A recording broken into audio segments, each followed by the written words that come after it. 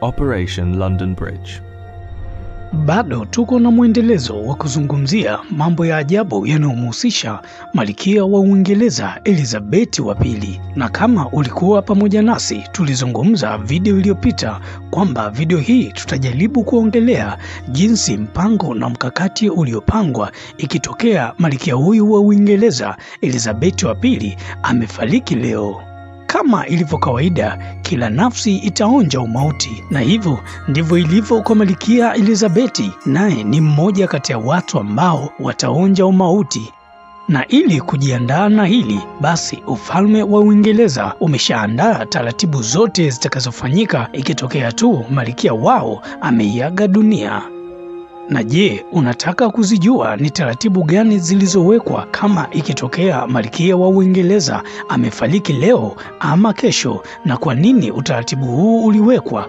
Basi ungana nami ili uweze kuyajua mambo haya yanayomhusisha malkia wa Uingereza. Mkakati huu unaomhusisha malkia wa Uingereza Elizabeth wa pili kwa mara ya kwanza ulisukwa mwaka 1960 lakini Malkia Elizabeth wa pili yeye si mtu wa kwanza kuandaa mikakati na mipango ya kifo chake. Wapo wafalme na malkia wengi waliopita nao walishafanga mikakati hiyo na kupanga mikakati hii kwa ajili ya mazishi ilianza kupangwa mwaka 1875 ambayo ilipangwa kwa ajili ya Malkia Victoria, na mipango hiyo ilidumu kwa miaka 26 kabla ya kifo chake.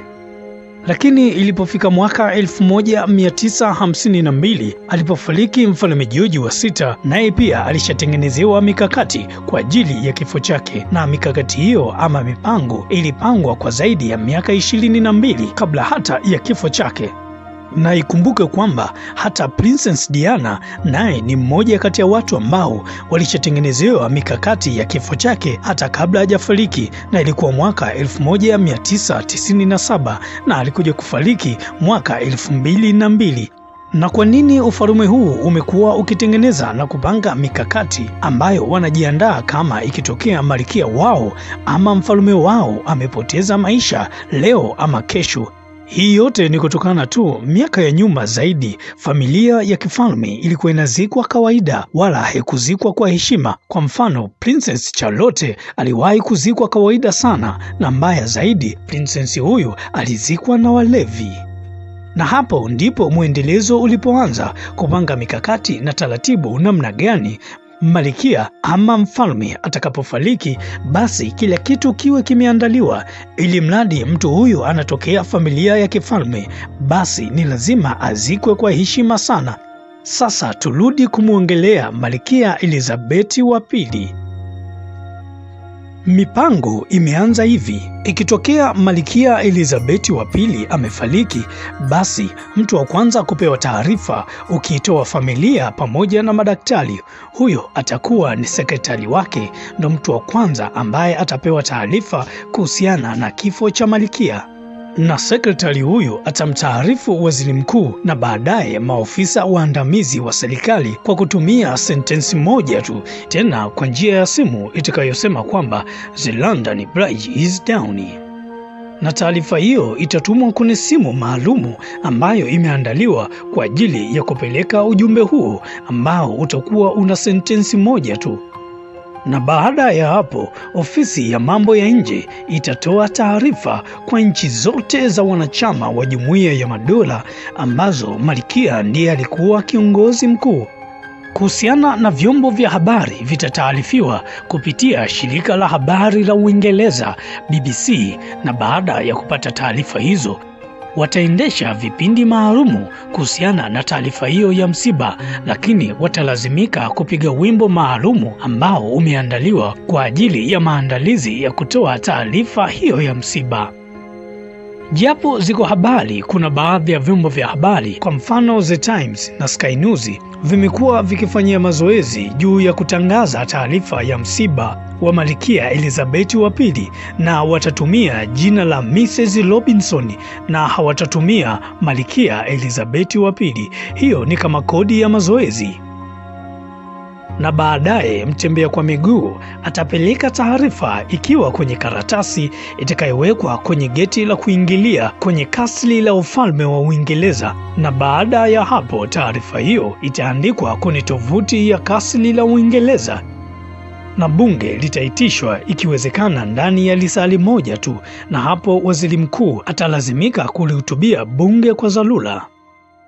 Siku moja baada ya kifo cha Malkia Elizabeth wa pili, baraza maalumu kwa ajili ya kumuidhinisha mfalme au malkia mpya litakutana katika kasri la S James, na jioni ya siku hiyo bunge litakutana kwa ajili ya kumuidhinisha mfalme au malkia mpya na huo ni mpango tu ambao umewekwa ikitokea Malkia Elizabeth wa pili amefariki akiwa ndani ya kasri lake. Lakini itakuwaje malikia akifariki nje ya kasri lake? Hilo ondoa shaka, na kwenyewe umepangwa utaratibu maalum ikitokea malkia huyu amefia nje kabisa ya kasri lake la kifalme. Kama ikitokea Malkia Elizabeth wa pili amefia kwenye nyumba yake binafsi, basi mwili wa malkia huyo utachukuliwa mara moja na kupelekwa kwenye kasri la kifalme, na hapo mwili utabebwa kwenye gari maalum ambayo hadi sasa imeshaandaliwa ikisubiri tu tukio hilo litokee na kama ikitokea malkia huyu amefia nje ya Uingereza, basi mwili wake utapelekwa Uingereza kwa kikosi cha the number 32 squadron. Hilo ni jeshi maalumu la anga kwa ajili ya familia ya kifalme, na hiyo itapitia uwanja maalumu ulioko eneo la Thousi Leaslip. Na kama malkia atafia kwenye kasri lililopo Scotland basi mwili wake utapelekwa kwenye kasri la Mtakatifu Giles na baadaye utachukuliwa kwenye treni maalumu ya kifalme na kupelekwa mjini London. Na hiyo ni katika mazingira yoyote yale, mwili huo ili kufika kwenye kasri la Uingereza ni lazima utumie ndani ya siku nne, haijalishi malkia huyu amefia sehemu gani ya dunia hii.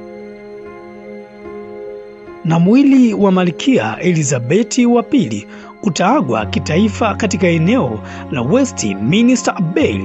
Hiyo itakuwa ni siku ya tisa baada ya kifo chake, na baada ya hapo atazikwa kwenye jeneza katika kanisa la Mtakatifu George lililopo katika kasli ya Windsor ambako ni nyumba yake binafsi, na hiyo ndiyo itakuwa ni safari ya mwisho ya maisha yake duniani hapa kwa malkia Elizabeth wa pili, ikitokea tu amekufa sasa, kesho, hata kesho kutwa. Hiyo ndiyo ratiba nzima iliyopangwa na kupangika kuhusiana na kama ikitokea malkia huyu ameiaga dunia. Lakini hili si kwa ajili ya familia ya kifalme peke yake. Hata wewe ndugu yangu unayenisikiliza hapa, unaweza ukafanya utaratibu juu ya maziko yako. Siku ikitokea umefariki, weka utaratibu ambao hautaumiza kichwa wafiwa ama watu watakaoshughulika na msiba wako. Asante kwa kusikiliza na kwa kutazama jambo hili ambalo linamhusisha Malkia Elizabeth wa pili kutoka Uingereza.